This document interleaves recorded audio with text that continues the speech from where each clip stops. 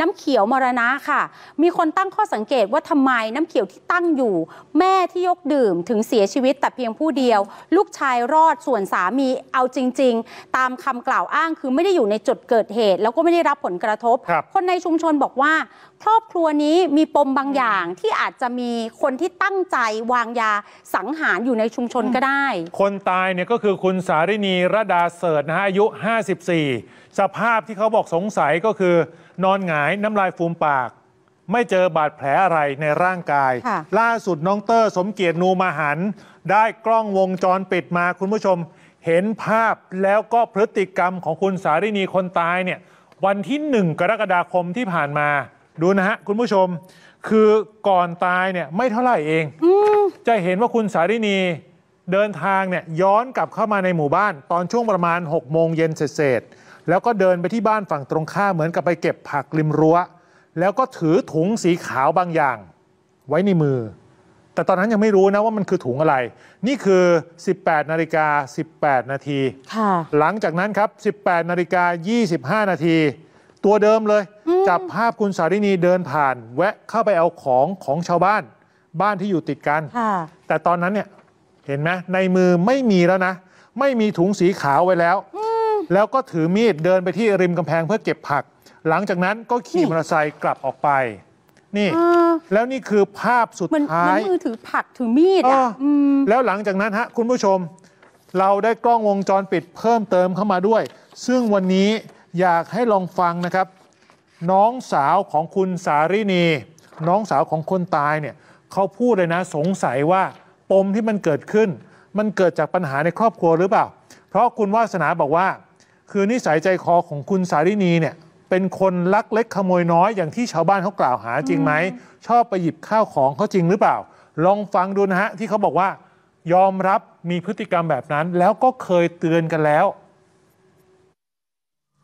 ชอบลักเล็กขโมยน้อยตามของชาวบ้านขนาดปลาอยู่ที่นายังหมดเลยล่ะแกไปเอา แกไปเอามากินทำกับข้าวเขาแกนั่นแหละ ผู้ใหญ่บ้านก็เคยเตือนนะว่า อย่าทำอีกนะอืมไปลักเล็กขโมยน้อยก็หยุดซะแกก็ทำเหมือนเดิม ยังสงสัยไหมว่าสรุปแล้วใครวางยาเบื่อแม่โน่อืมอันนี้ก็ยังพอประเด็นเรื่องลูกหลานสะพ้ายมันเบาบางลงเนี่ยตำรวจ ก็จะประมาณแต่ว่า แกจะปิดใจกับชาวบ้านหรือเปล่า เพราะว่าชาวบ้านก็อืมแอร์แกอาจจะไปขโมยของมีค่าชาวบ้านมา หรือว่ายังไงก็ไม่รู้เหมือนกันนะเพราะว่า แต่ก่อนแกก็เป็นคนรักเล็กขโมยน้อย เราเคยว่าเคยเตือนกันไหมก็เคยเตือนนะก็อย่าไปทำหน้าเดียว เพราะฉะนั้นณเวลานี้ปมที่เขาสงสัยมี 2 ปมนะฮะคุณผู้ชมหนึ่งก็คือเรื่องปัญหาความขัดแย้งในครอบครัวค่ะหรือเปล่า เพราะตัวของคุณสารินีคนตาย อันนี้ในครอบครัวเขาบอกนะไม่ค่อยถูกกับลูกสะใภ้มีปัญหาทะเลาะกันบ้าง หรือ 2 คือไปทะเลาะกับคนอื่น เพราะมีพฤติกรรมลักเล็กขโมยน้อย มี 2 ปมที่ตำรวจกำลังสืบอยู่คุณผู้ชมครับ ล่าสุดเราได้ไปคุยกับยายของลูกสะใภ้ของคุณสารินีด้วย คืออีกมุมหนึ่งทางฝั่งครอบครัวลูกสะใภ้อย่างยายเพนหาดชุมเนี่ยแกก็ยืนยันนะว่า หลังจากทราบข่าวว่าสารินีตาย ตัวของลูกสะใภ้เองเขายังสงสารยังเสียใจอยู่เลย และเขาก็ยืนยันว่าตัวเขาไม่ได้เกี่ยวข้องกับการตายของแม่ยาย เคยมาเปรยให้ยายฟังด้วยนะว่า คือสงสัยว่าทางบ้านของสามีเนี่ยเขามีปัญหาทะเลาะเบาแว้งอะไรในครอบครัวของตัวเองหรือเปล่า แล้วจริงๆคือหลานคนนี้ก็คือลูกสะใภ้ของคนตายเนี่ยเขารักครอบครัวสามีมาก แล้วก็รักสามีด้วย เชื่อว่าเขาไม่กล้าทำแบบนี้หรอกไม่กล้าไปวางยาเพื่อฆ่าแม่สามีแน่นอน ขึ้นเกิดเหตุนั่น มมันก็นอนอยู่กับลูกมันบ่ไปใส่อีหลีเด้อืมสันเงิดอีหลีไฟสันเฮียนสันมีหลอดสว่างแม่เขาซื้อมาไว้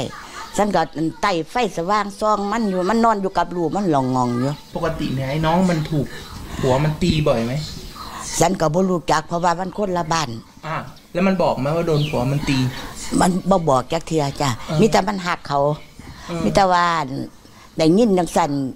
ได้ยินจังสั่นแล้วเขาก็เลยว่าคือสงสารเขาแท้ว่าสั่นอันอันว่าเขากินยานะว่าเขาเป็นอยากไปเบิ่งเขานะททางฝั่งของตำรวจนะคะ ฝ่ายสืบสวนตำรวจภูธรจังหวัดอุดรธานีตอนนี้เร่งค้นหาต้นทางของไอ้เจ้าขวดน้ำเขียวมรณะทั้งสองขวด คือเบื้องต้นคงต้องประสานกับบริษัทผู้ผลิตก่อนไงอืมเพื่อจะตรวจสอบว่ามันมีปัญหาอะไรไหมแต่หลักๆ แล้วเขาไม่ได้พุ่งเป้าไปตรงนั้น เขาคิดว่ามันอาจจะมีคนที่นำน้ำเขียวไปผสมอย่างอื่นมากกว่า ถ้าออกมาจากบริษัทอะมันไม่น่าจะเกี่ยวข้องกับเรื่องของยา โดยเฉพาะนะคะทางด้านของตำรวจเนี่ยบอกแบบนี้ด้วยว่า ตอนนี้เข้าไปตรวจสอบร้านค้าอีก 11 ร้าน เพื่อหาว่าน้ำเขียวทั้งสองขวดเนี่ยจัดส่งไปที่ไหนบ้าง และจะไปตามหาบุคคลค่ะอืมที่ไปหาซื้อน้ำเขียว แล้วมีการสอบปากคำบุคคลที่เข้าออกบ้านผู้ตายโดยเฉพาะในวันที่เกิดเหตุอืมซึ่งมีในเหรียญเพื่อนของลูกชายเนี่ยนะอ๋อรวมถึงใน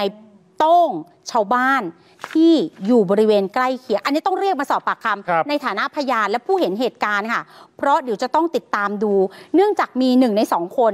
เป็นผู้ป่วยจิตเวชที่ต้องกินยาด้วย เพราะฉะนั้นตอนนี้มีผู้ต้องสงสัยที่จะต้องมีการเรียกมาเพิ่มเติมเนี่ยอืมหนึ่งในผู้ต้องสงสัยมีผู้ป่วยจิตเวชโอ้ คดีนี้นี่ค่อนข้างค่อนข้างซับซ้อนเหมือนกันนะโอ้อืมอะคุณผู้ชม อัปเดต 34 HDF เวอร์ชันใหม่ รางวัลใหญ่รออยู่นะครับ